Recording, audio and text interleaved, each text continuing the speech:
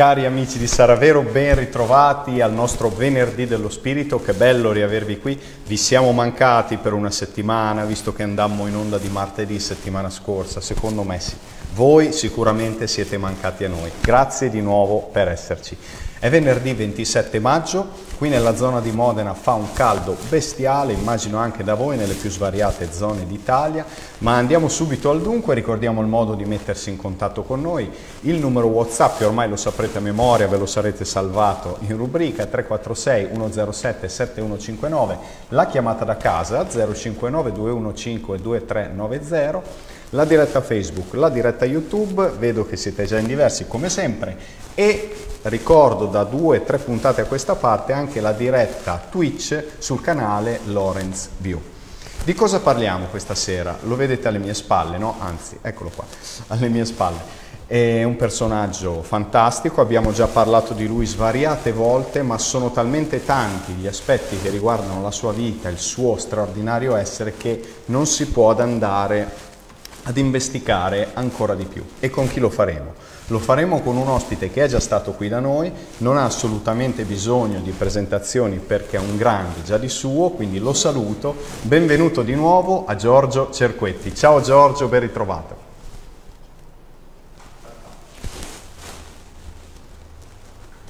E quando fa caldo è utile capire che siamo nati nudi e moriamo vestiti, quindi meno vestiti ci mettiamo, eh, più la pelle, il corpo, i chakra, dicono in India, più l'organismo respira. Respira e vive.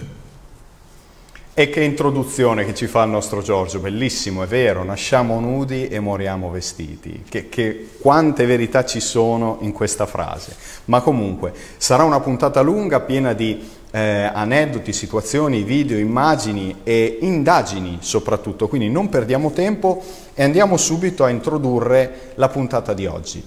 Di cosa parleremo di oggi? Di quelli che sono secondo i testi e gli insegnamenti canonici che riceviamo, gli anni perduti di Yeshua, che però stasera scopriremo proprio così perduti non sono, giusto Giorgio?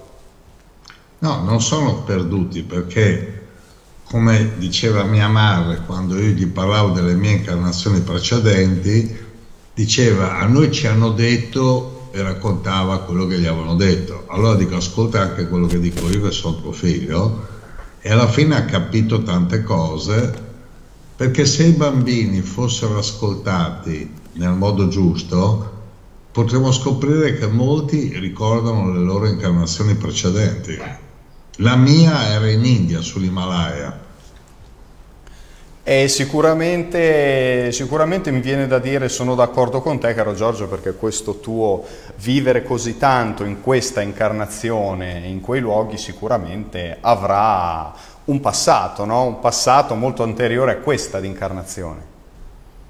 Sì, il primo viaggio in India l'ho fatto 54 anni fa, siamo nel 2022, e andai a visitare la tomba, quella che dicono in India, nel Kashmir, a Srinagar, la tomba di Gesù Cristo esattamente 50 anni fa, 1972.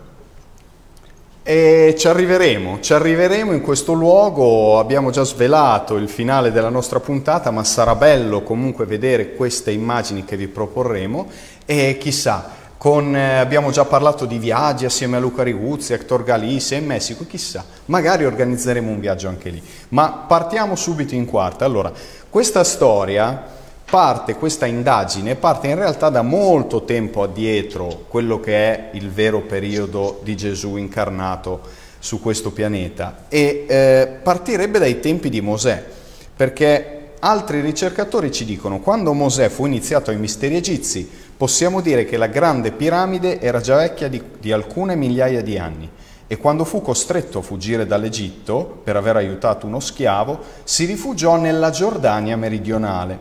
Da qui l'accesso a questo libro chiamato Enuma Elish, che gli diede l'ispirazione che la terra promessa non era la Palestina, con i suoi desolati paesaggi desertici, ma una rigogliosa oasi piena di foreste e pascoli, questa zona sembrerebbe appunto il Kashmir nel nord-ovest dell'India.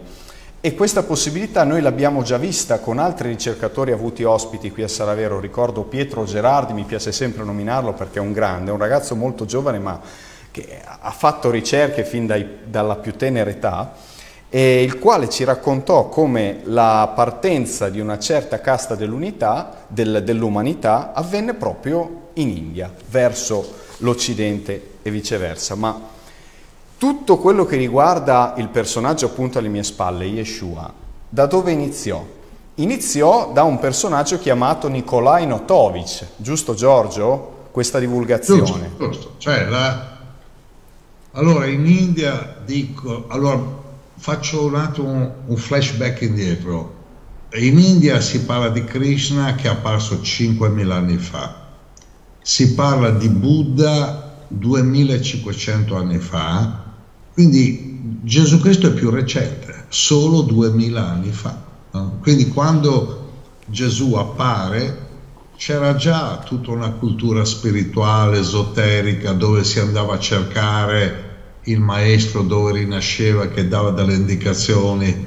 Quindi è molto interessante localizzare nello spazio-tempo, non solo nella cultura occidentale ma anche in quello orientale. Volevo aggiungere una cosa su Mosè per quello che ne so io. Allora, Mosè vuol dire figlio. Come fa a essere figlio di chi? Era figlio della sorella del faraone che però non era autorizzata e quindi eh, fa questo figlio con uno schiavo poi fa la, la, scena di metterlo che galleggia sul Nilo, lo riprende e dice al fratello, ah guarda un po' cosa ho trovato oggi e adotta, quindi lui era figlio della sorella e quindi nipote del faraone, ma non poteva diventare faraone, quindi aveva, cresce come uno che deve comandare in una famiglia reale, è abituato al comando e quindi alla fine si mette al comando, come dicevi, e emigra con tutto un gruppo di persone piuttosto numeroso. Cosa ne pensi Giorgio di, della ricostruzione di quel colossal dove appunto Mosè interpretato da Charlton Heston, i Dieci Comandamenti, viene messo appunto come fratello di Ramesse? Allora Cecil DeMille, che era il regista, esatto. andò, andò andò in Egitto proprio programmato da Hollywood, programmato, lui era già anziano, Demir, con l'idea di fare un film, eh, Il Re dei Re, l'ha fatto lui, Gesù è alto, biondo con gli occhi azzurri, discepoli tutti piccoletti, Charleston Heston, alto 1,90 m, hollywoodiano, poi fanno la Bibbia, fanno una serie di film per occidentalizzare il più possibile dei personaggi storici che non erano né europei né americani, l'America non esisteva, no? quindi eh, rendono americano Gesù Cristo anche Jesus Christ Superstar, no? cioè eh, Giuda è nero, chissà perché, no? il traditore il nero. traditore. Bisogna stare attento alla propaganda, no? stiamo un attimo su Oriente e Occidente, mi piace se stasera parliamo di Oriente e Occidente, no? di, dando le due interpretazioni. Ci hai dato una chiave di lettura, Giorgio, di opere cinematografiche e musical straordinaria, l'occidentalizzazione di certi personaggi, perché in realtà avranno avuto sicuramente lineamenti di quelle zone. Pazzesco, grazie Giorgio, sono sicuro che anche gli amici a casa ti ringraziano. Andiamo a vedere la, mm, la, prima immagine della serata in cui vediamo appunto dove si trova il Kashmir e dove si trova il Ladakh perché Notovic viaggiò a cavallo appunto della catena himalayana tra il Kashmir e il Ladakh. Noi vediamo che nel Kashmir c'è un paesaggio verde eh, pieno appunto di pascoli, foreste rigogliose per poi eh, passare al di là appunto dell'Himalaya in questi paesaggi semilunari della DAC. E cosa successe appunto a um, Nikolai Notovic? Che finì in un piccolo monastero buddista dove lo accolsero molto bene. Perché questo? Perché c'erano delle diatribe da tempi immemori fra occidentali, tra virgolette, cristiani e pakistani musulmani, quindi venne accolto molto bene per questo motivo. E gli raccontarono che in passato visse in quei luoghi un grande profeta di nome Issa, significato essenza di nostro Signore, loro lo chiamano, il quale insegnò ad ogni essere umano a distinguere fra il bene e il male. Andiamo con la prossima immagine, vediamo eh, in, riassuntivamente appunto cosa fece Notovic eh, alla fine del XIX secolo in un monastero di Emis, nella zona dell'Adaka, appunto, in Tibet, trovò dei rotoli che parlavano di un'Isa o Isha. I rotoli si pensa fossero del eh, VII secolo d.C. e provenienti dall'India per poi passare dal Nepal e quindi in Tibet. Parlano di questo Isha, nato in Israele, che all'età di... Eh, toglimi un attimo Manu eh, quella cosa che mi invade lo schermo. 13 anni, con una carovana giunse a Sindh, in India, venne ricevuto dai sacerdoti di Brahma e conobbe i Veda. E da qui tutta quella che eh, è stata evidentemente un'influenza culturale di Yeshua. Tu confermi tutto ciò dal fatto che tu hai vissuto là, no Giorgio? Sì, allora una correzione, il Pakistan non è mai esistito, è stata la partizione, la chiamano in India, creata dagli inglesi che sono costretti a lasciare l'India e creano il Pakistan occidentale, orientale, che poi quello orientale di, si separa e diventa Bangladesh, il luogo Desh vuol dire luogo del, del Bengala, quindi c'è il Bengala occidentale che è il Bengala dove c'è Calcutta e il Bengala orientale dove è Dhaka la capitale. Era tutta India, l'India arrivava fino a comprendere l'Afghanistan tant'è che le famose statue del Buddha di Bamiyan furono distrutte dai talebani proprio perché il buddismo addirittura era arrivato in India, nord, nord, nord-ovest, lì.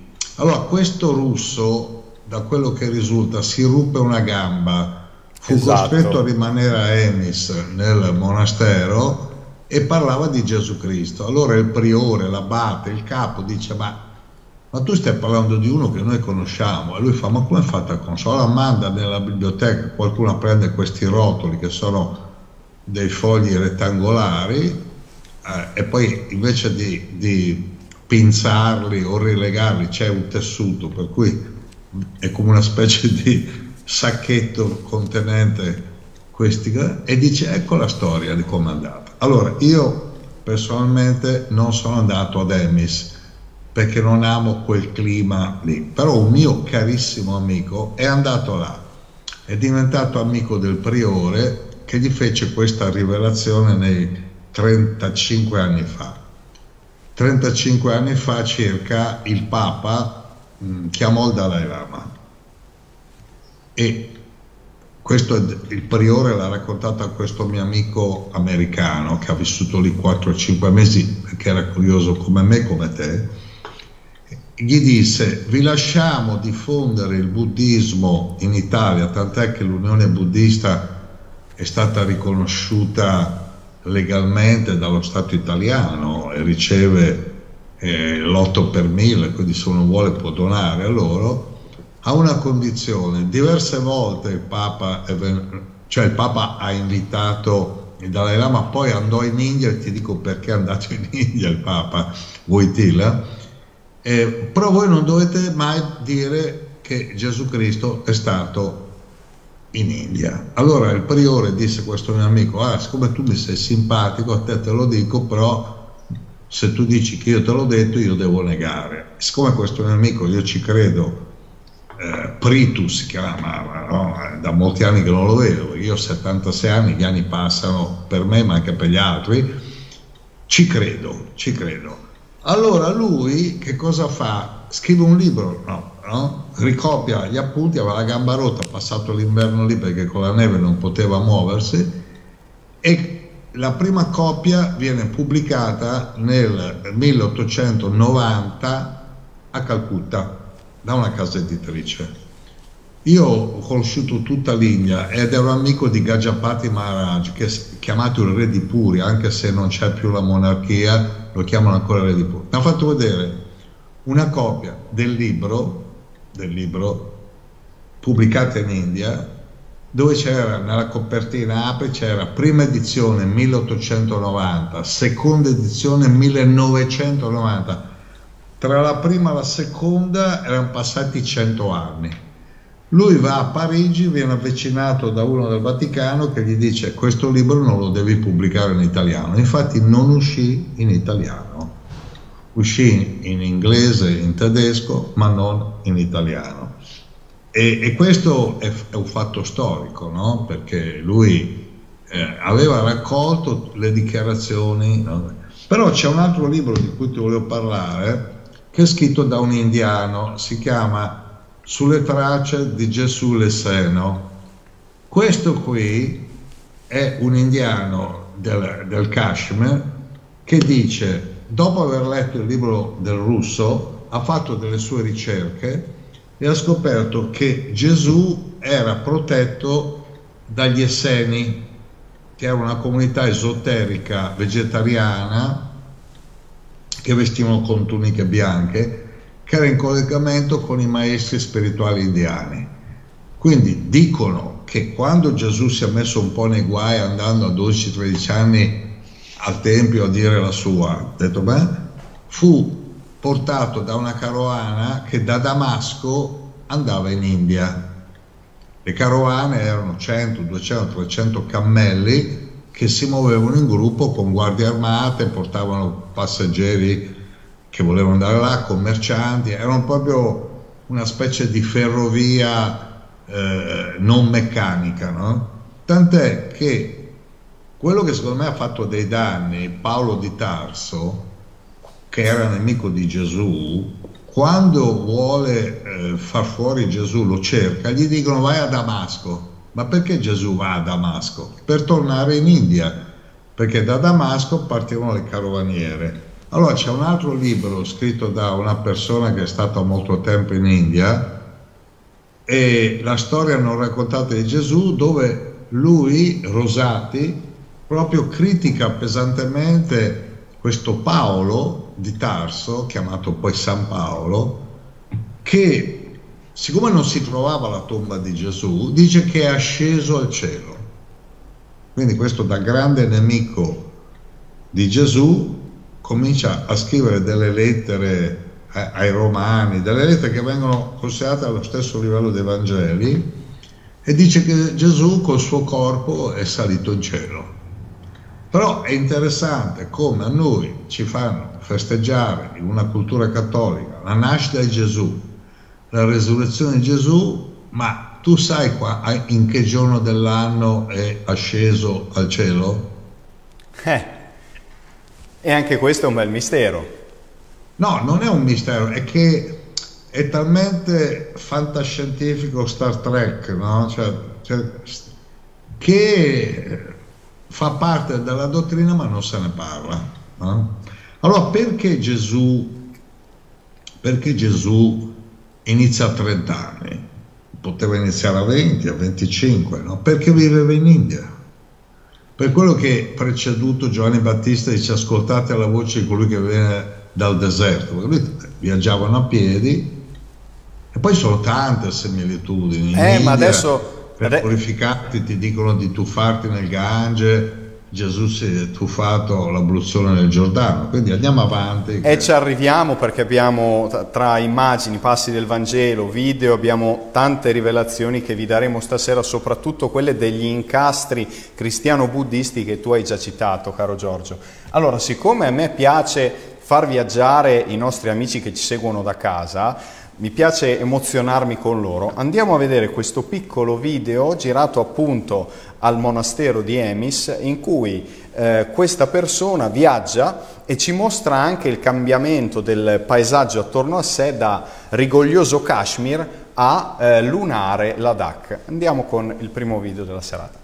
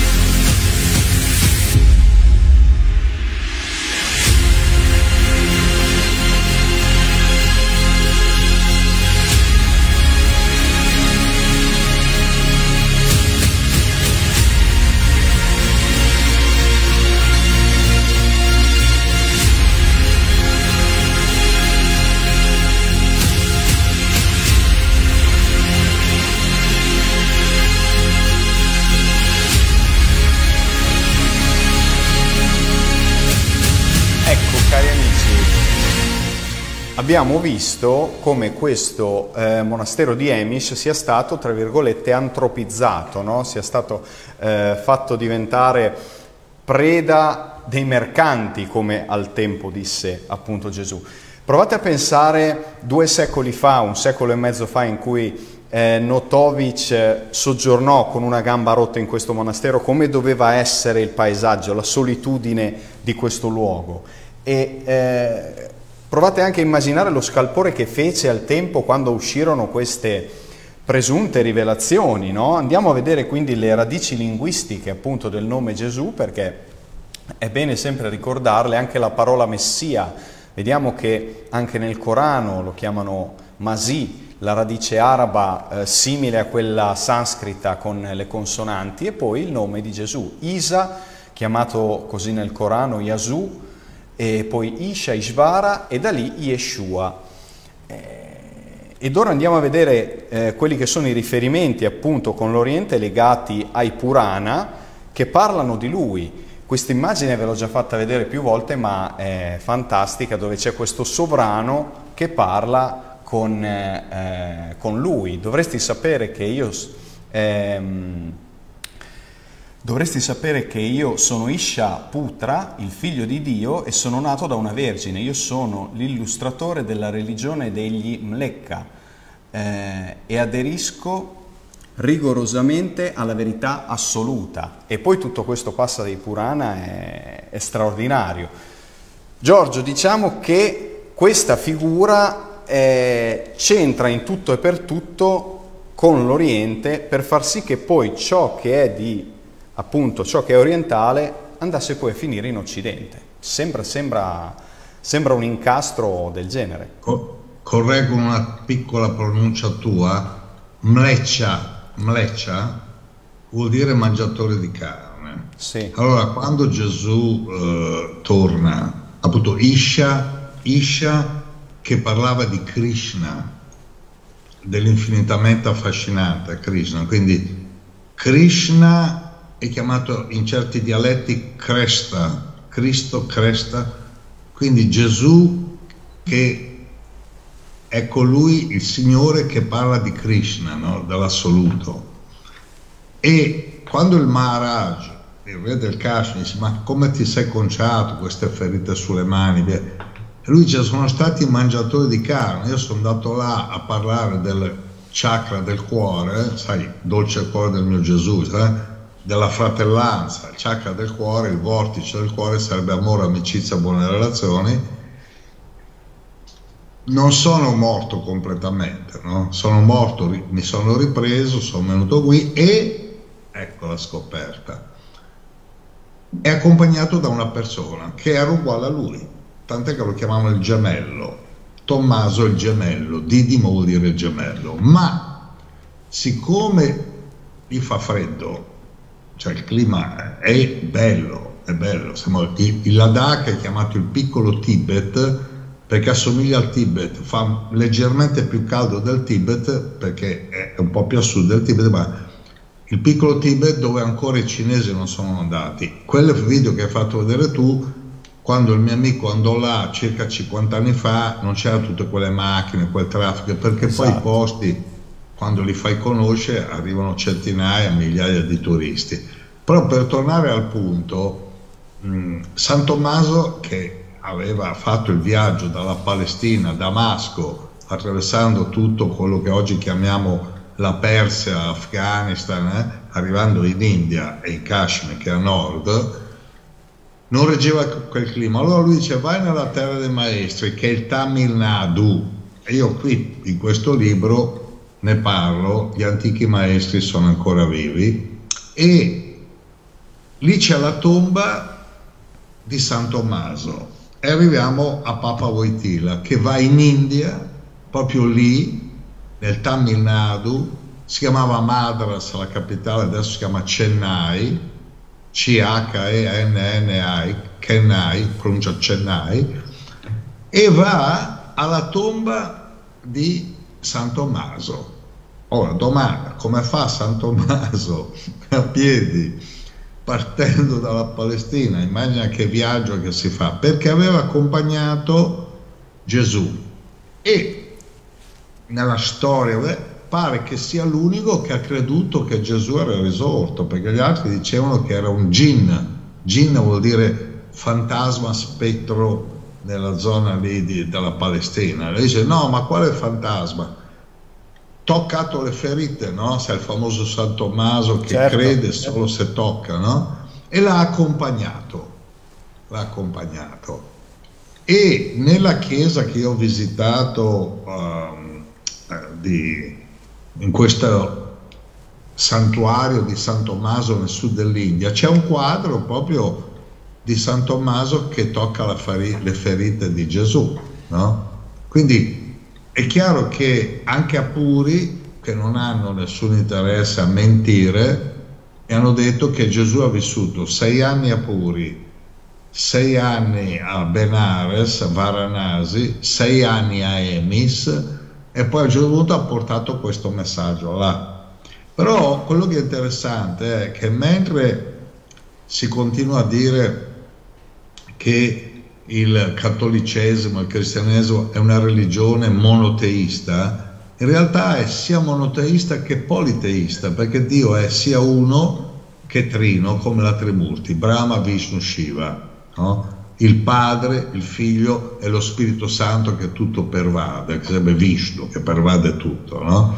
Quindi sono molti i collegamenti. È chiaro che se i libri di storia scritti qua negano questo, non vuol dire che il Purana, Purana vuol dire il libro di storia, quello che hai citato tu, il Bhavisha Purana, parla dell'incontro di questo maestro che veniva dall'Occidente, che va in Kashmir e aveva queste ferite.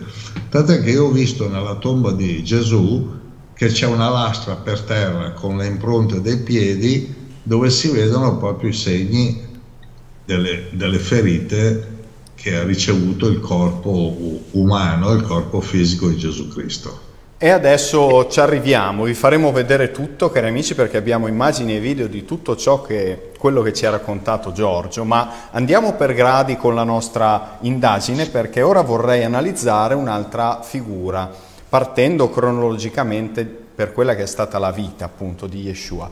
E andiamo a vedere l'immagine numero 6, Manu. Questi chi sono? Sono i re magi e Matteo nel capitolo 2 ci dice Ora quando Gesù nacque in Betlemme di Giudea, al tempo del re Erode, ecco che i magi, venuti da Oriente, si presentarono a Gerusalemme dicendo Dov'è il re dei Giudei che è nato? Poiché abbiamo veduto la sua stella ad Oriente e siamo venuti ad adorarlo. Ora, ci sono tante divagazioni qua. Per chi si occupa di astronomia sa bene che oggi è possibile calcolare matematicamente le congiunzioni astrali o gli eventi cosmici eh, anche in tempi così remoti. E lo fece anche, pensate un po', chi? Keplero, calcolando che la stella di Betlemme fosse l'apparizione di una nova nell'anno 7 a.C. In quell'anno vi fu una congiunzione fra Saturno e Giove, pensate un po' dove, nella costellazione dei pesci. Andiamo quindi a vedere il simbolo appunto cristiano per eccellenza, uno dei simboli di Gesù qual è? Il pesce. La verità non è venuta nuda del mondo, ma è venuta in simboli ed immagini, non la si può afferrare in altro modo. Nel 1925 poi successe che l'orientalista Paul Schnabel riuscì a decifrare questa tavoletta sumera ritrovata sulle rive dell'Eufrate, la quale descriveva accuratamente l'evento astronomico del 7 a.C. fra Saturno e Giove nella costellazione dei pesci. Ed ora una domanda al nostro caro Giorgio. Dunque, questi re magi, Giorgio, che venivano da Oriente, no? In un tempo così remoto, non ricordano quello che fanno anche oggigiorno certi monaci tibetani che vanno a cercare l'incarnazione di un nuovo lama? Allora, eh, per essere precisi, l'immagine che hai fatto vedere tu eh, non è eh, originale, cioè si vedono tre che viaggiano con tre cammelli, giusto? Sì. Ecco, in realtà non viaggiavano con tre cammelli, viaggiavano con un cammello, un cavallo e un elefante.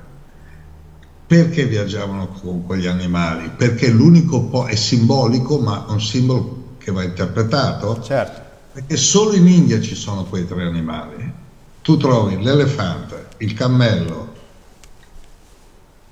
e il cavallo, il cavallo. solo in India. E infatti, infatti lo vedi anche quando ultimamente avevo visto una pubblicità che facevano i, i re magi che facevano pubblicità alle caramelle, sono i magi di colori diversi. Per cui se tu vai in India, tra nord e sud, trovi variazioni di colore. Tipo la zona, sembra quella che era chiamata i Sai Baba del sud dell'India, sono molto scuri di pelle. A metà India sono meno scuri e magari a nord sono quasi bianchi, bianchi una questione di esposizione della pelle al sole. Quindi loro sapevano che un grande maestro si sarebbe reincarnato lì. Ora, nella questione della Vergine, bisogna leggere che nel Mahabharata, che ha 5.000 anni, c'è un racconto di un maestro che va a trovare un re e vede la figlia che aveva 17-18 anni molto scocciata, diciamo annoiata, e gli dice ti do un mantra, un'affermazione in sanscrito, un mantra, una vibrazione, se tu ti senti sola di questo mantra e ti appare il Deva, una, un abitante del Sole che, appa, che ha un corpo energetico. Un giorno lei nelle sue eh, stanze si annoia, dice questo, questo mantra e appare il Deva del Sole. Il de- Deva vuol dire è un essere che ha un corpo energetico e viene dal Sole. E lei rimane talmente colpita che dice, ah ma allora è vero, dice, è chiaro che è vero, cioè funziona, no? Lui però prima di andare via dice, ti regalo un figlio, lei fa, no, no, no, non posso perdere la verginità. E lui dice, ma se io ti abbraccio tu avrai un figlio e rimani vergine. Poi cosa succede? Che lei cerca di liberarsi da questo figlio che ha un nome Karna, Karna che si trova nel Mahabharata, che poi si mette, se, sentendosi figlio rifiutato, in sanscrito i figli rifiutati sono sempre aggressivi, quindi si capisce perché c'è molta aggressività nel pianeta, perché molti nascono, sono milioni di aborti, ma molti che nascono non sono figli desiderati. Quindi quando c'è lo scontro finale tra i buoni e i cattivi, questo Karna, figlio della Vergine Kunti, si trova dalla parte dei nemici, no? giusto per, per spiegare perché rimane incinta. Uno scienziato giapponese ha fatto una ricerca in cui dice che l'ovulo femminile, se fosse irradiato, può iniziare il processo di sviluppo anche senza lo spermatozoo. No? Sono studi recenti, ma qui parliamo di 5.000 anni fa il Mahabharata, 2.000 anni fa Gesù Cristo. Tra l'altro, tra l'altro, l'angelo che annuncia alla Madonna che avrà un figlio potrebbe essere lui il padre, perché come fa a dirgli tu avrai un figlio? Perché se tu vai a vedere, fino a Gesù Cristo si parla di angeli, che appaiono un po' dappertutto. Dopo Gesù non sono più accettate le apparizioni angeliche.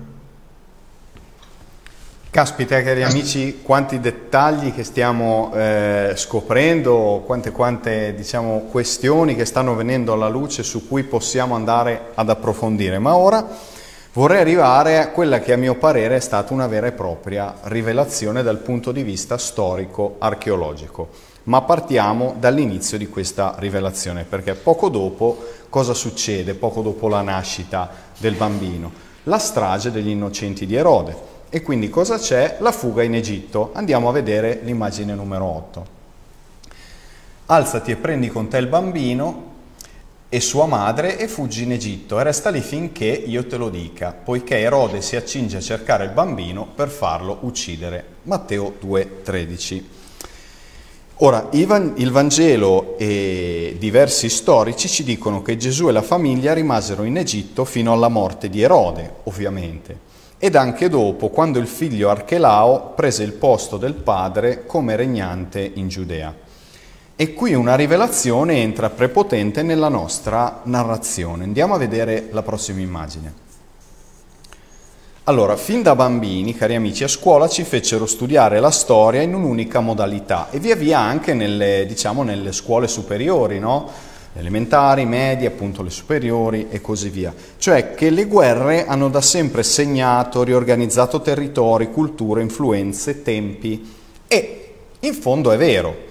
Ma se noi osserviamo la storia da un altro punto di vista, dando semplicemente più importanza ad altro, possiamo osservare tramite questa mappa l'espansione territoriale eh, intanto di un regno tramite conquiste, ma anche l'espansione di un movimento spirituale e di conseguenza di un messaggio. Questa è l'espansione che ebbe il buddismo Ora accantoniamo quelle che sono le battagliette religiose e diamo la nostra interpretazione di buddismo come l'espansione degli insegnamenti del Buddha, che storicamente fu precedente al Cristo. Quindi qui noi non stiamo dicendo viva Buddha perché è venuto prima di Gesù, no, noi stiamo parlando di un messaggio d'amore, di fratellanza, di un insegnamento che porta all'innalzamento di coscienza. E quindi ragionando sempre su questo, tra i tre e i quattro secoli prima appunto del periodo in questione, dove arrivò ad esempio Alessandro Magno con la sua follia di conquista. Andiamo a vedere l'impero macedone. Immagine successiva. Ecco, arrivò fino in Oriente. Questo scambio appunto di gentilezze armate che eh, Alessandro appunto diede con, con tanto amore evidentemente, eh, all'interno di questo vi furono sicuramente altre migrazioni, spostamenti, scambi fra popoli, no? non solo fatti di armi. E una ricerca di cui fanno parte diversi storici italiani, tra cui Mirko Rizzotto, che ho sentito al telefono personalmente pochi giorni fa, andiamo a vedere la prossima immagine, attraverso, scusa mano, immagine 13, eccola qua, questo è lo storico Mirko Rizzotto, no? con questo libro Caio Giulio Cesare, opere minori, frammentarie ed inedite. Egli ed altri ricercatori, che vedete appunto nel, nel sottotitolo, ci dice che facendo riferimento alla storiografia ufficiale, che denota come minori opere che non parlano di guerre, cioè chi l'ha deciso che il De Bello Gallico è un'opera maggiore di Cesare, mentre qui, dove eh, Giulio Cesare ci dice che ad Alessandria d'Egitto ebbe contatti con alcuni monaci, pensate un po', buddisti, di un monastero Theravada ad Alessandria d'Egitto, o scuola missionaria buddista Vihara, quindi qui c'è, basta guardare la storia da un punto di vista diverso e si ribaltano tutti i concetti, cioè perché noi dobbiamo studiare le guerre di conquista e crescere con una visione appunto guerrafondaia o comunque di competizione, quando allo stesso tempo abbiamo un'espansione al contrario che porta un messaggio d'amore fino ad Alessandria d'Egitto, dove molto probabilmente Gesù bambino stesso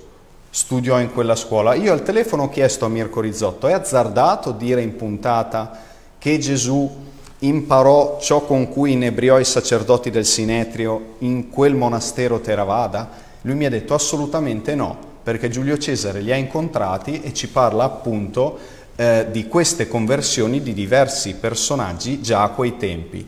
Cosa ne pensi Giorgio? Qui abbiamo delle conferme importanti. Sì, sì, intanto volevo farti vedere questa immagine che conferma quello che dico io, lo vedi? Sì. Cavallo, sì. cammello, elefante. Sì, eh? certo. E quindi eh, è importante essere precisi. Ma sul De Bello da Garico te ne dico una divertente, che Giulio Cesare era interessato alla reincarnazione.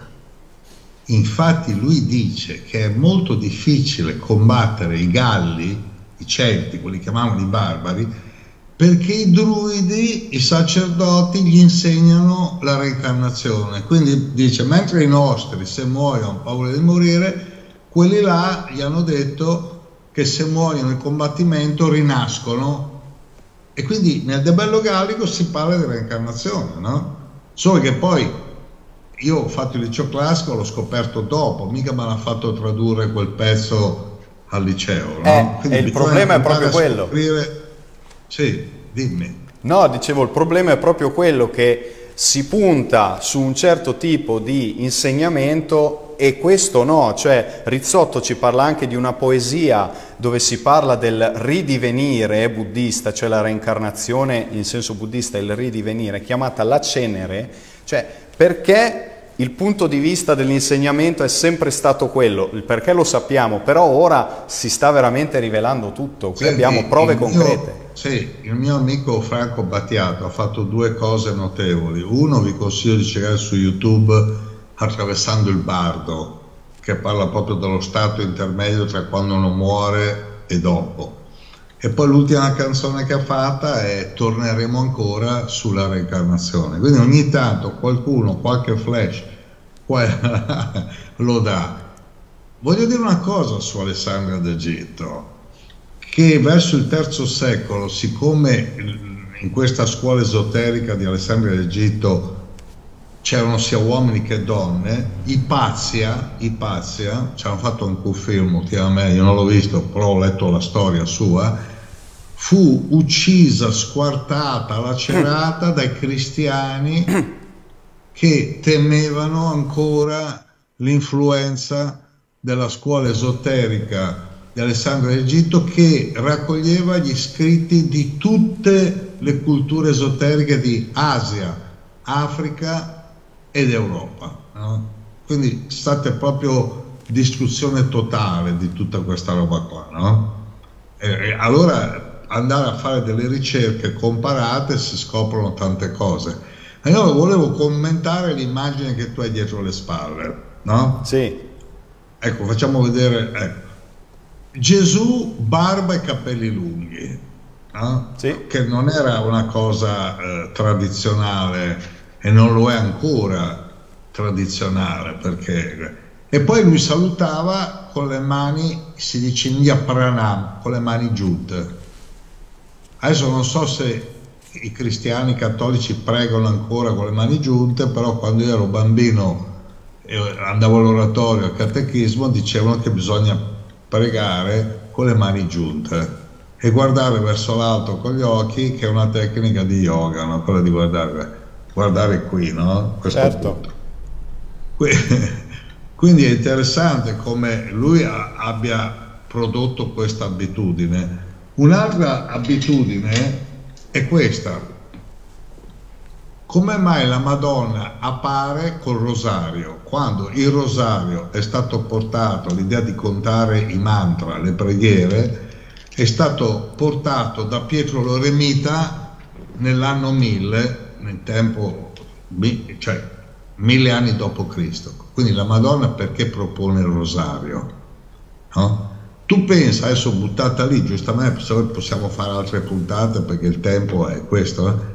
ma sai cosa dicono lì in India, a nord dell'India? Che c'è la tomba di Mosè, la tomba di Maria e la tomba di Gesù, non solo la tomba di Gesù, tutte e tre.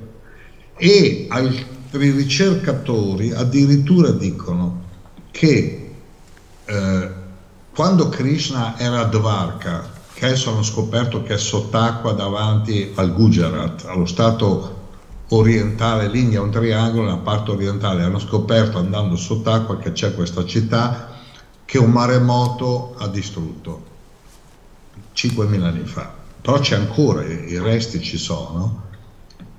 Alcuni gruppi della dinastia di Krishna, Yadu, Yadu sono salvati sulla terraferma. Dieci sono andati in Kashmir e due guidati da uno che aveva eh, rinnegato il Brahman, il Brahman che sarebbe l'assoluto. Quindi, secondo il sanscrito, quando tu neghi una cosa, sembra violenza, a imsa vuol dire non violenza. A Brahman vuol dire colui che è contro il Brahman. Abramo Tant'è che, ecco interessante, una voce di Dio gli dice sacrifica tuo figlio, però perché Dio gli deve dire di sacrificare il figlio? È la voce di un demone, dicono in India, perché un'altra voce angelica dice no, lui stava già per sgozzare il figlio, capito? No? Certo. Ecco, quindi ci sono tante... Allora lì, qual è la ricchezza rispetto al Medio Oriente del Kashmir? L'acqua, l'acqua, cioè le mele, l'uva, l'acqua, lo zafferano, la, la, la, terra produce, quindi racconti di miele, di nettare, di, di, di... Allora, questo è certo che ci sono fatte delle ricerche da Israele hanno scoperto tracce di DNA ebraico sia nelle popolazioni di, intorno a Srinagar sia in altre parti dell'India. Hanno proposto a questi se volevano andare a, a vivere in Israele, hanno detto di no, però Srinagar, che poi è stata costretta dai musulmani a diventare musulmana, vuol dire la Nagar, vuol dire la terra della Shri, della divinità femminile. Per questo che era molto cara a Gesù Cristo, perché ai tempi suoi c'era una dimensione spirituale molto molto molto elevata. Nel vivo della trasmissione prima abbiamo parlato con Giorgio di alcune assonanze no? del modo di eh, pregare o comunque di recitare mantra o di stare in compagnia dell'assoluto comuni sia agli orientali che agli occidentali. Andiamo ora a vedere questo video che poi commenteremo appunto assieme a Giorgio. Video 14, Manu.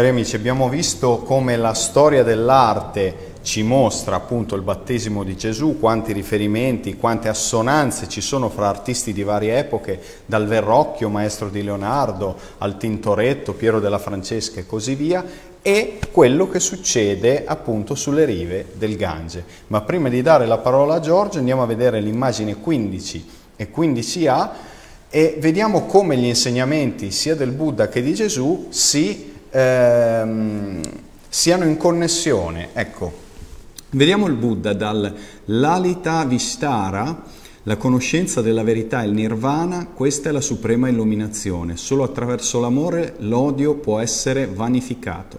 Attraverso il perfetto amore il male può essere superato. Non dite mai parole ostili al vostro prossimo ed esso risponderà allo stesso modo. Mentre Yeshua cosa ci dice? Ama il prossimo tuo come te stesso, se qualcuno ti dà uno schiaffo porgi l'altra guancia e se qualcuno ti ruba la veste dagli anche il mantello.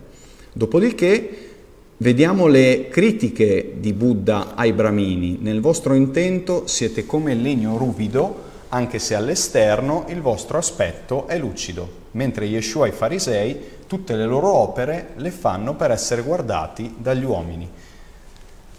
Poi di nuovo alcuni episodi della vita del Buddha, tra cui questo, su di un fiume vide dalla riva opposta un discepolo senza barca venire verso di lui camminando sull'acqua. Il discepolo di Buddha affondò nell'acqua una volta persa la condizione meditativa sul maestro. Si salvò ritrovando quella stessa concentrazione. Yeshua invece sappiamo tutti cosa fece. Pietro si avvicinò a Gesù camminando sulle acque proprio come il suo Signore. Al momento del vacillare della fede, Pietro iniziò ad affondare. Le parole del braccio di Gesù risollevarono Pietro. Poi qual è l'appunto? Camminare sull'acqua è un'idea assolutamente assente nelle tradizioni ebraiche, mentre è un tema assolutamente diffuso in India ed è possibile che il Nuovo Testamento abbia preso quest'idea appunto dall'India. Buddha parla in parabole come Yeshua, le quali molto spesso coincidono ed entrambi iniziano a parlare in pubblico intorno ai 30 anni e tante altre cose. Ce ne sarebbero da dire che potremmo fare una puntata solo su queste appunto connessioni e assonanze. A te Giorgio un commento a questa nuova reintroduzione all'argomento. Volevo farti vedere meglio per gli amici questa cosa qui, se la vedi proprio dei, dei tre, li vedi? I sì. tre re magi? Sì che come dicevo io, no? che hanno proprio questi tre eh, modi di, di muoversi ed è interessante perché è un simbolo, solo in India trovi cammello, cavallo ed elefante. Senti, io sin da bambino, io sono diventato vegetariano nel 1960 e ho avuto contro il medico di famiglia, così però non ho, ero deciso. Ti faccio vedere se vuoi una mia foto di come giravo in India. Ti va? Vai, vai, vai, certo. Eh, complimenti. complimenti perché sono ancora vivo. Eh? no, giravo così, quindi io da bambino dicevo a mia madre devo tornare sul Gangia. Lei fa no, ma vai a scuola. Allora abbiamo fatto un accordo che quando finivo il liceo pensa che quando io ho finito il liceo nel 1968, quel liceo si è stato occupato, è iniziato febbraio 1968, il famoso liceo Parini di Milano. Invece di andare in piazza, sono andato in India nel 1968, ma ho riconosciuto il Gange, ho riconosciuto l'Himalaya, ho riconosciuto il Kashmir, il Nepal, tutte quelle zone lì, e mi veniva spontaneo essere così, eh, essere eh, diciamo più che vestito così, apparire così. Adesso per evitare che chiedono perché c'è la barba, i capelli e quello, quella, mm, mm, vesto così, tranquillo, no? Però come vedi dietro, di qua, di qua, le vedi, due statue del Buddha e, e due dipinti che vengono dall'Himalaya, che rappresentano l'energia vitale, la Shakti Kundalini. Certo. È chiaro che possiamo andare avanti per ore, se c'è un libro scritto da un tedesco, La vita di Gesù in India, che è stato tradotto in 37 lingue. Quindi il punto è, ma dove sta scritto? In India, in molte parti dell'India mi hanno detto che Gesù era un grande maestro spirituale, un grande maestro spirituale che proponeva l'amore, la compassione, la carità, proprio quello che proponeva anche Buddha. Però c'è una cosa interessante che molti occidentali non sanno. Mm, sei secoli prima di Cristo, due figure appaiono in India, quasi in contemporanea, tutte e due erano principi, uno Mahavira che inizia il Jainismo, da cui viene Mahatma Gandhi, e l'altro Siddhartha Gautama chiamato il risvegliato Buddha Solo che i jainisti non predicano, se vai là ti insegnano, però non vengono a bussare a casa tua, no? Certo. Quindi c'era una grande cultura eh, nei cinque secoli che precedono Cristo di non violenza, alimentazione vegetariana, meditazione. Sia i jainisti che i buddisti dicevano che gli altri pianeti sono abitati, chiamavano i pianeti superiori le terre pure, per cui anche se etimologicamente molti dicono l'origine della parola paradiso, le, il, la lingua che noi parliamo viene dal sanscrito, quindi paradiso viene da Paradesh, come dicevo prima, Bangladesh, Desh vuol dire luogo, sì. Paradesh vuol dire luoghi superiori, le terre pure di cui parlano i buddisti e i pianeti superiori di cui parlano gli induisti. Oh, vado veloce perché capisco che abbiamo una questione di tempo, ma quando vuoi ci ritorniamo. Eh. Allora, a proposito di Dash, a proposito di luoghi, eh, ci sarebbe poi qui anche da affrontare il discorso della crocifissione, qui ci sarebbe veramente un, un, un, ci vorrebbe veramente una vita intera forse per parlare di questo tipo di indagini, tutte le ipotesi eccetera, ma rimaniamo sul fatto che comunque sia è stato è risorto, è stato rianimato, comunque sia, dopodiché si è spostato, Yeshua si è spostato.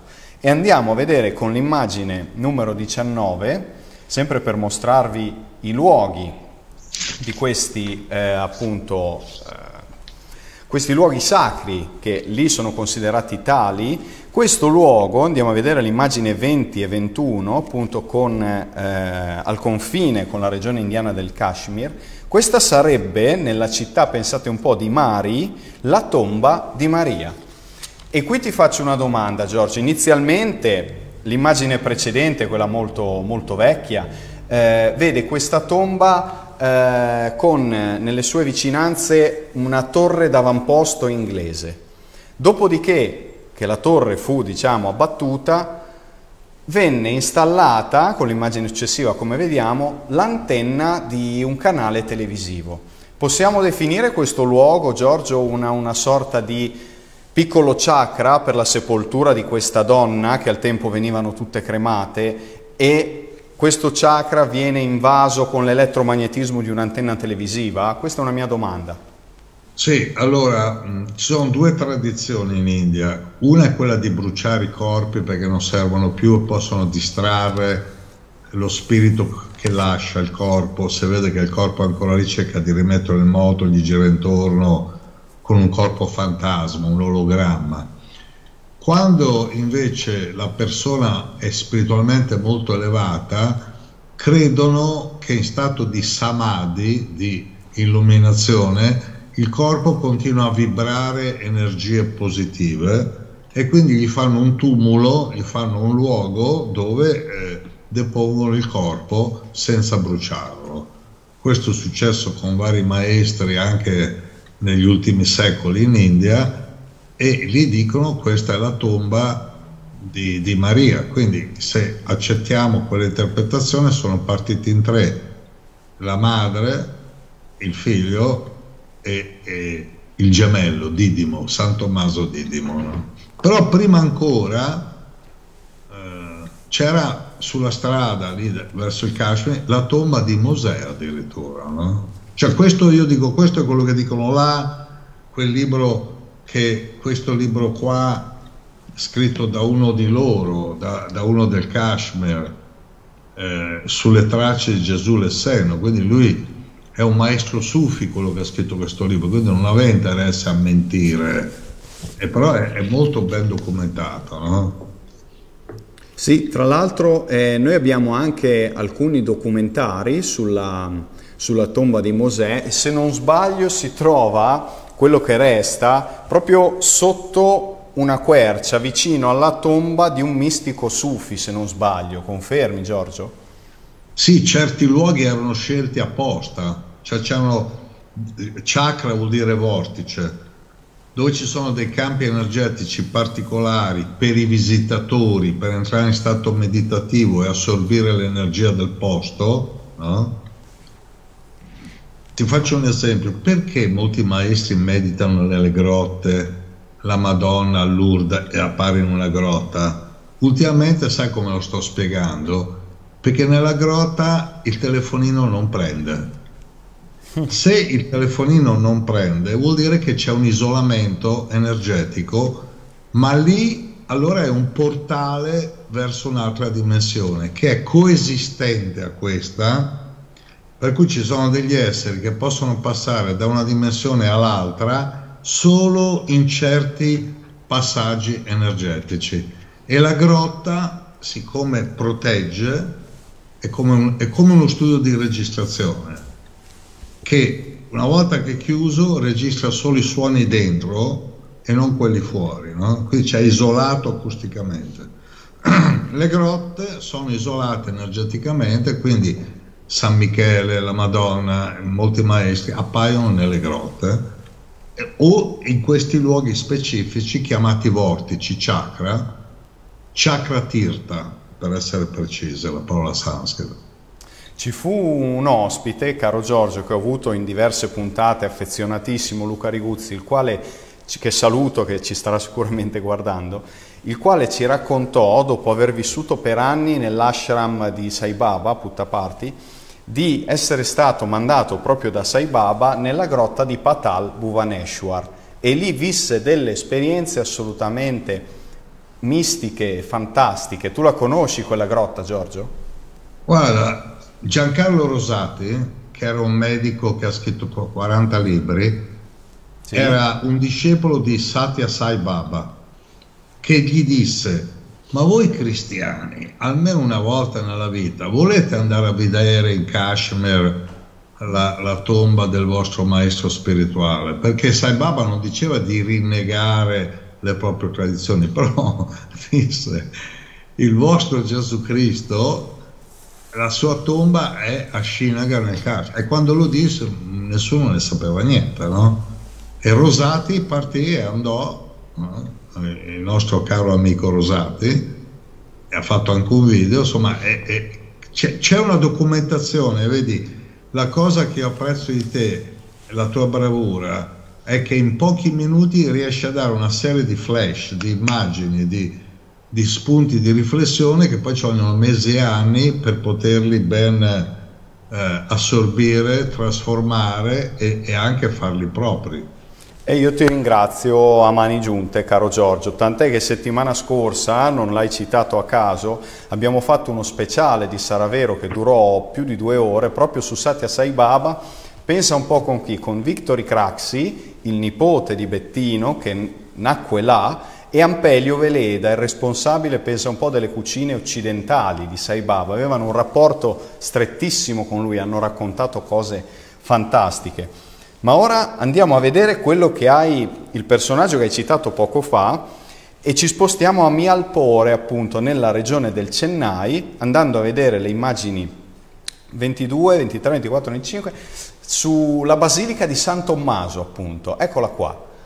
E gli hanno appunto dedicato questa basilica, vai pure mano, qui vediamo International of St. Thomas Basilica, ecco questo è l'interno, e questo è il famoso dipinto, copia ovviamente del Caravaggio che citavi poco fa, caro Giorgio.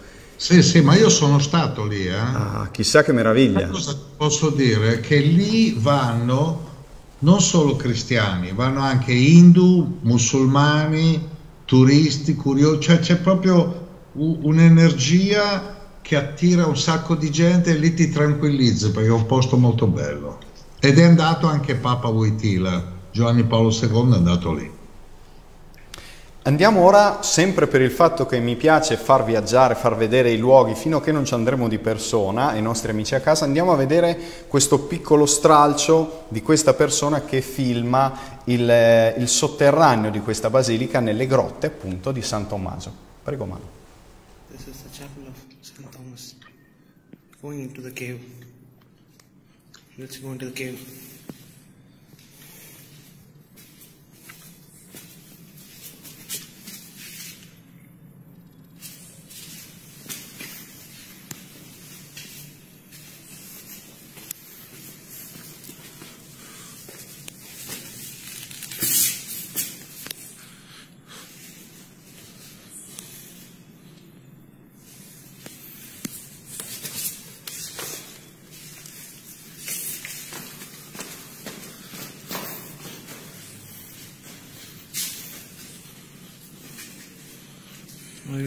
We will enter the cave of St. Thomas, his first in India.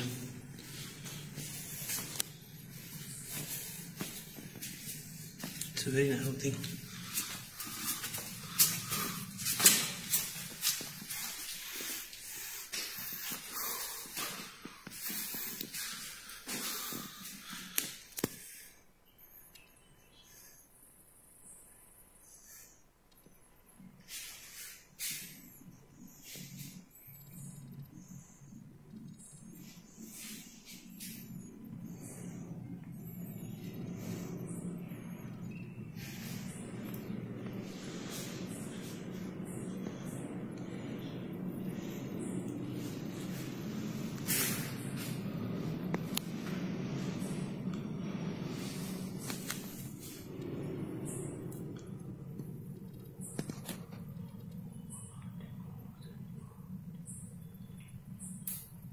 Also playing through the fingerprints of St. Thomas. He's keeping his hands on St. Thomas's fingerprint.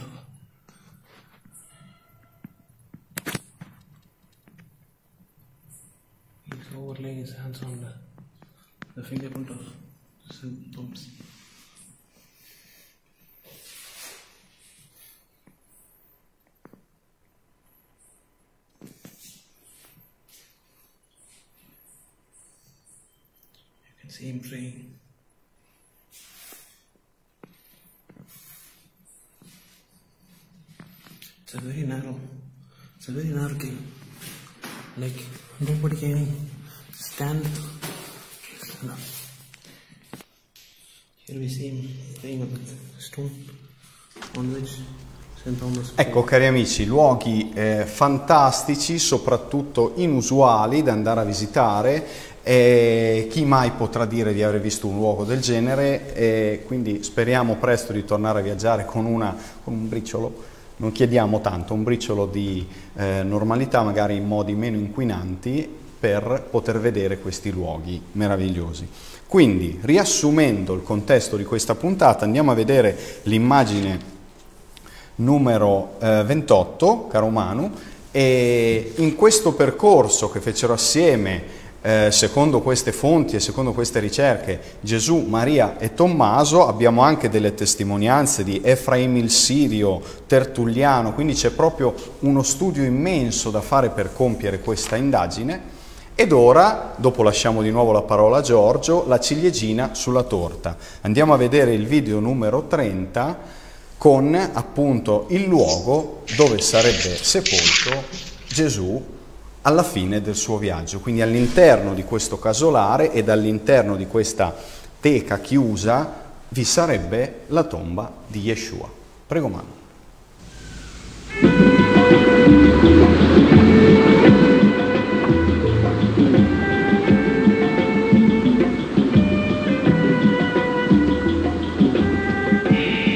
But if Jesus traveled or returned to the east, surely there would be legends, like those in the south of France, to support the idea. And of course, there are such traditions. In fact, the people here in Kashmir call their tribe Ben-e Israel and claim to be descendants of the lost tribes. And here there are stories that in the first century, Isa, known locally as Yusasav, meaning leader of the healed, returned to Kashmir in his 30s. Yusufzad's ministry here can easily be seen as a continuation of the Jesus ministry.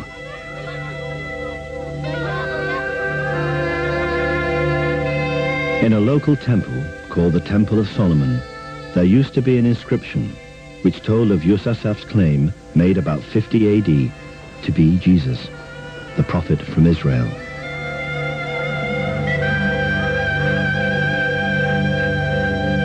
तमाम कश्मीर की तारीखों में यही लिखा है कि ये बाहर से आया है। ये ये प्रॉफिट था ये पैगंबर था जो और इसराइल से आया नस्बैन से आ, अंदर बॉर्डर में आया है और आ, फिर यही तबलीग कर रहा है रहा है।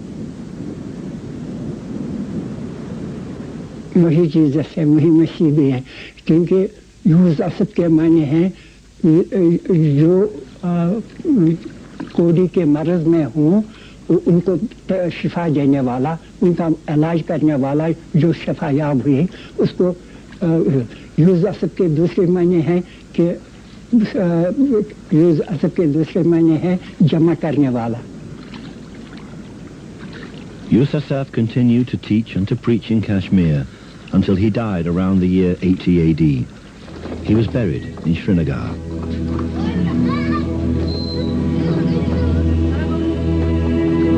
And this rather modest building is, they say, his tomb. The first shrine erected around the site was built in 112 AD. In fact, it is now a shared gravesite. In the 15th century, the Islamic holy man Syed Nazir ud Din was also buried here. Although both the gravestones under the cloth point north-south in the Islamic tradition, the body of Yusasav is buried beneath in a grave dug east-west in the Jewish tradition.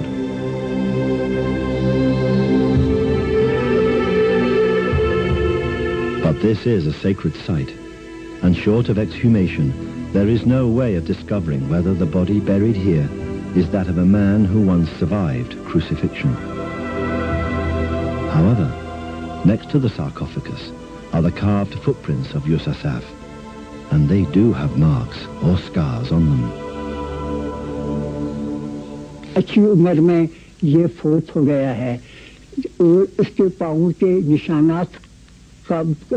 पत्थर पर उन्होंने कुंदा कर रखे हैं जैसे कि थे वैसे ही रखे रखे हैं निशान के तौर पर। उनमें जख्म के निशानात बिल्कुल साफ़ नज़र आते हैं। जो सलीब पर चढ़ाने की वजह से उनके पाँव में जख्म जख्म आए थे The position of the scars, just behind the toes, do not match each other. But they would align if a single nail was driven through both feet with the left foot placed on top of the right.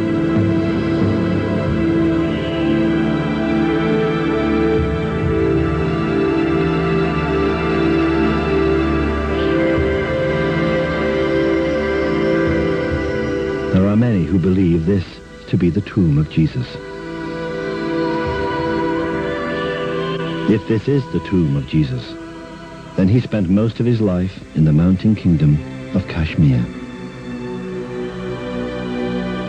He did not die on the cross. There was no resurrection. He did not ascend into heaven, and he does not sit at the right hand of God. For many Christians, this would be the end of Christianity as we know it. Ecco cari amici, abbiamo ascoltato in lingua inglese questo piccolo stralcio chiamare appunto Gesù Yus Asaf, ci hanno descritto anche l'orientamento della sepoltura e c'è la nostra Marina De Luigi che evidentemente è stata là e confermo la presenza di Tommaso in India e c'è un libro che vidi a Bangalore mentre ero in visita da Sai Baba nel 93 era Gesù visse in India. A te la parola Giorgio.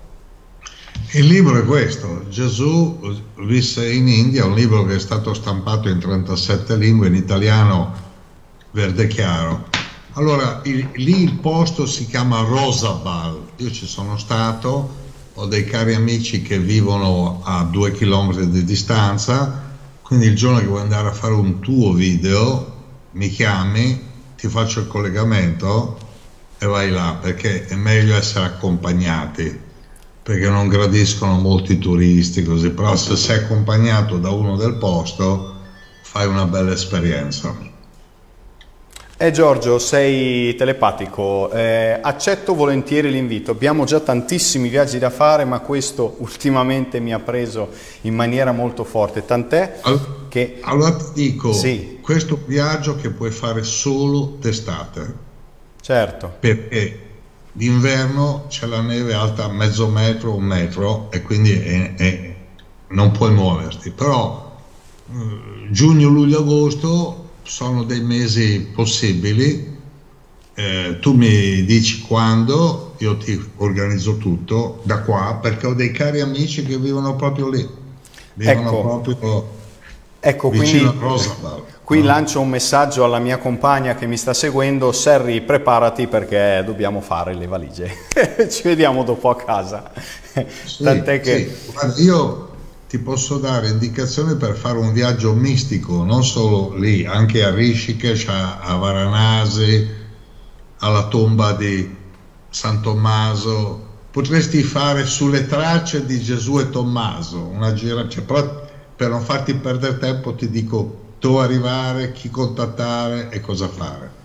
Ecco, benissimo, cari amici se qualcuno Faccio vorrà la guida a unirsi... distanza, ti faccio da guida a distanza, tanto c'è il telefonino. Lo faremo, lo faremo. Tant'è che quel libro che hai fatto vedere, che è stupendo, del, del tedesco, ha la prefazione della carissima amica Paola Giovetti e la copertina è di Maurizio Cavallo, quindi pensate un po' che incastro per, per Eh, questo libro. eh? Sì. Prima di Io, chiudere... io- sì. io sono un tuo ammiratore perché sei stato in grado in un'ora e mezzo di preannunciare a tutti che tu andrai là. Grazie a te però. eh.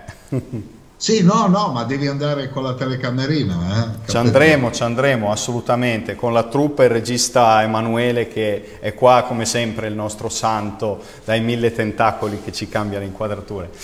E volevo chiudere, prima di salutarci amici, con quest'ultima slide di un teologo chiamato Hans Kung, il quale appunto ci accompagna anche lui verso un mondo nuovo.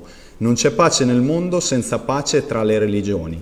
Non c'è pace religiosa senza dialogo tra le religioni, non c'è dialogo tra le religioni senza la conoscenza delle proprie tradizioni.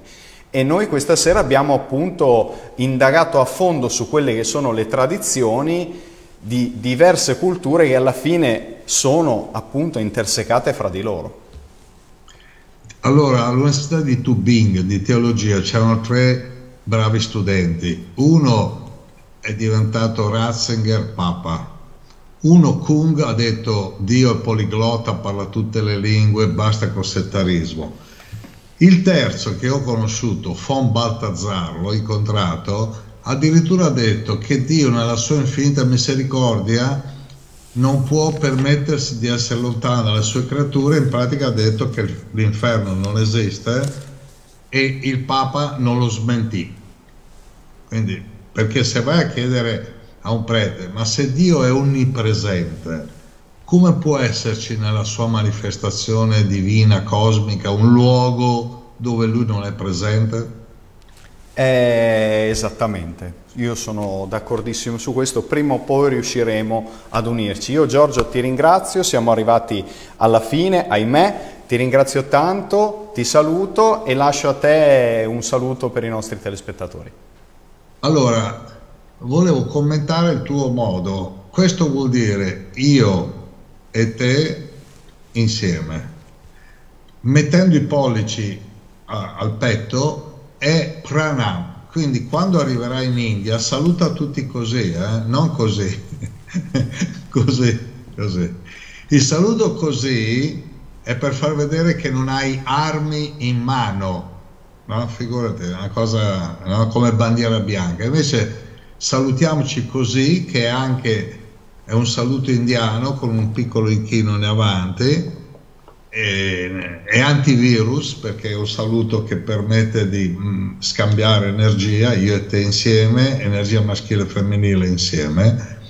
E quando vuoi, se vuoi, possiamo parlare degli antichi maestri che sono ancora vivi. Io ho scritto un libro e ti posso spiegare tante cose, anche il collegamento con tutta la tradizione esoterica occidentale, per cui tu andrai là e, e farai il tuo bel viaggio.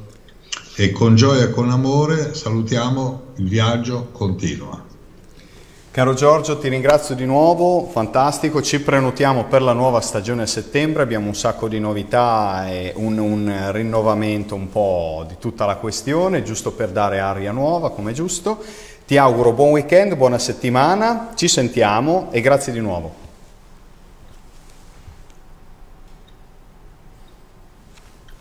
Cari amici, penso che Giorgio abbia parlato al cuore e l'abbiamo sentito tutti. Rosaria ci dice infatti è sempre bello ed emozionante seguire la vostra trasmissione, grazie veramente di cuore, un saluto al grande Cerquetti.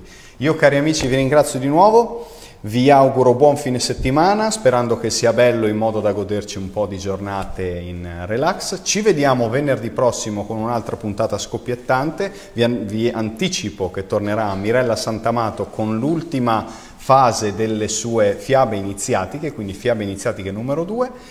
Buona settimana di nuovo, un abbraccio e buonanotte a tutti. Grazie, grazie come sempre di cuore.